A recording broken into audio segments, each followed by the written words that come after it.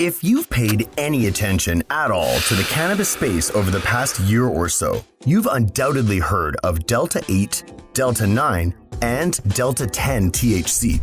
Delta 9 THC is the traditional THC compound, the naturally occurring marijuana cannabinoid that's responsible for the mind altering effects we feel when we get high. But what about Delta 8 and Delta 10? What exactly are these cannabinoids? Where do they come from? How are they made? And most importantly, what do they do? In the most basic sense, delta 8 and delta 10 THC are chemical isomers of naturally occurring delta 9 THC. All three compounds are similar in terms of both their chemical structure and their physiological effects on the human body. The difference is a subtle chemical one. All three compounds, delta 8, delta 9, and delta 10 THC, actually have the exact same chemical formula, C21H30O2. This means each molecule contains 21 carbon atoms, 30 hydrogen atoms, and 2 oxygen atoms. These atoms are chemically bonded to one another in a very specific way, almost like a unique fingerprint.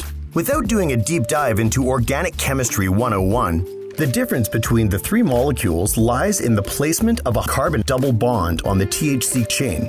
With a delta 9 THC, the double bonded carbon occurs on the ninth carbon. With delta 8 THC, the double bond is on the eighth carbon.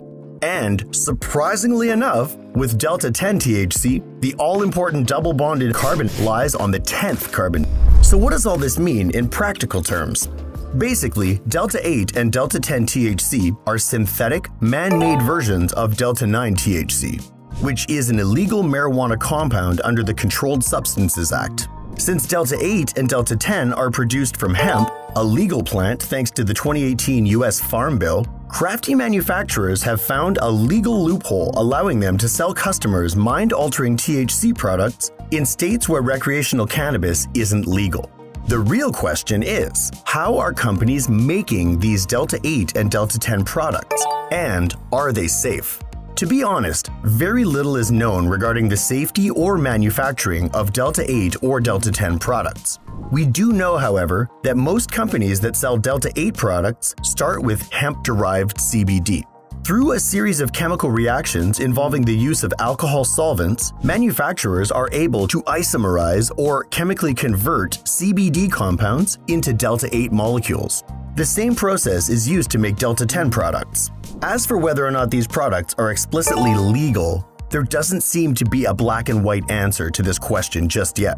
According to an article published by NORML, the National Organization for the Reform of Marijuana Laws, a 2022 Court of Appeals ruled that federal law does not explicitly prohibit the sale or manufacture of Delta 8, so long as it's made from hemp. The ruling also acknowledged that if the 2018 Farm Bill did in fact create a loophole for the legal sale and manufacture of Delta 8 and Delta 10, then it's up to Congress to fix this mistake. If you're enjoying this video, please don't forget to hit that like button and subscribe right here to The Way of Leaf for weekly video content on all things cannabis and science. Anyway, what about the effects of Delta 8 and Delta 10? Do they actually get you high? Believe it or not, yes but most people say they're only about half as potent as Delta 9. Interestingly, most people also report that Delta 10 products have more of an energizing effect, consistent with classic sativa strains, while Delta 8 products have more of a sleep inducing sedative effect, similar to indica strains. For a more in depth analysis and explanation of the effects of Delta 8 and Delta 10, be sure to check out these videos. Of course, these effects can vary wildly depending on the potency of the product, how well it was made, and so forth. Manufacturers are also infusing Delta 8 and Delta 10 products with terpene profiles from classic cannabis strains, including Sour Diesel, OG Kush, and Pineapple Express. In a nutshell, Delta 8 and Delta 10 THC products are man made legal loopholes that allow companies to sell mind altering THC products to customers that don't otherwise have access to legal cannabis. If you have anything else to add to the conversation on Delta 8, Delta 9, and Delta 10, please feel free to do so in the comments below. Also, don't forget to like and subscribe if you found this video content helpful and informative. And lastly, for more help on choosing between Delta 8 and Delta 10, be sure to check out these videos right here. Thanks for watching, and we'll see you next time.